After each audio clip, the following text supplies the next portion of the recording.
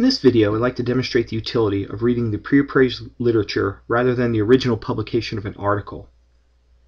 This is a systematic review of omega-3 fatty acids in the secondary prevention of cardiovascular disease published in the Archives of Internal Medicine in 2012. In the Haynes hierarchy, this would be an example of a synthesis. This particular study is eight pages long. For me to read this carefully, critically appraising its methods, and trying to understand the results to see how they apply to my patients would take me some time, probably 30 to 60 minutes, if not more. Contrast this to this one-page summary of the same article published in ACP Journal Club.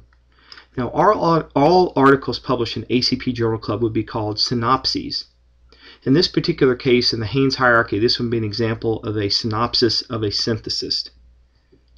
These are called pre-appraised literature because someone else has read the original study and critically appraised it for, for its methodological quality and clinical importance.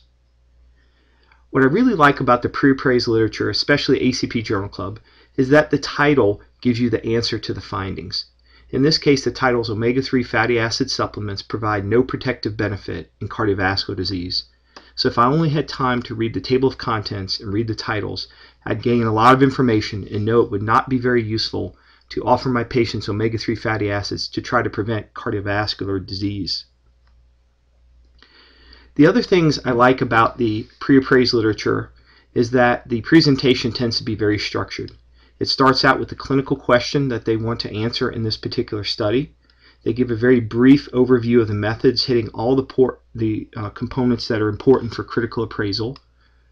The results tend to be given in a simple table um, that includes everything that you would need to make a decision on the benefits and harms of this particular therapy. And then importantly, the commentary here that's added adds a lot of information. So commentaries tend to be written by clinical and methodological experts. They put the results of the study into the context of the body of literature that's already out there in this particular area.